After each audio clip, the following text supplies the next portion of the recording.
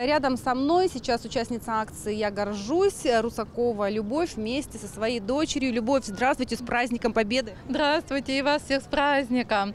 А, Хочу внести и свою лепту, да, предложив вниманию моего прадедушку Куликова Нестора Андреяновича, а, который э, честно служил, который дошел до Берлина. Он вернулся живым с войны. Очень много болел э, после этого, конечно, но у него еще здесь после войны родилась дочка.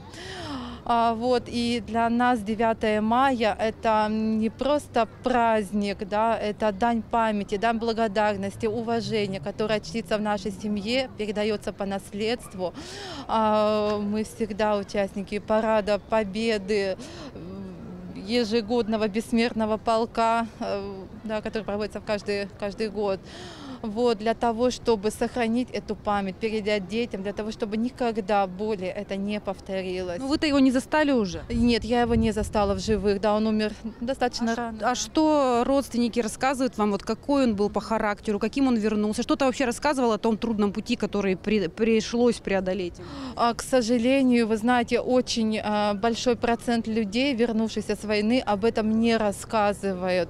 Информацию оставляют себе, скрывают, утаивают для того, чтобы а, мы не знали тех ужасов, через которые пришлось пройти.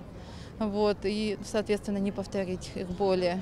Сегодня как вы по городу прошлись, как настроение у людей, какое настроение у вас в этот солнечный день? Настроение прекрасное, радужное, блестящее. Действительно, праздник со слезами на глазах. Это очень трогательный момент, да, когда рекой льется бессмертный полк. Это память наша, да, это благодарность этим людям за тот подвиг, который они совершили. Это очень памятно, и это большая честь, которая выпала нам сегодня. Спасибо большое. Я еще раз поздравляю вашу семью с этим самым важным для россиян праздником. Абсолютно с вами согласна. Спасибо с праздником! большое. Ура! С праздником.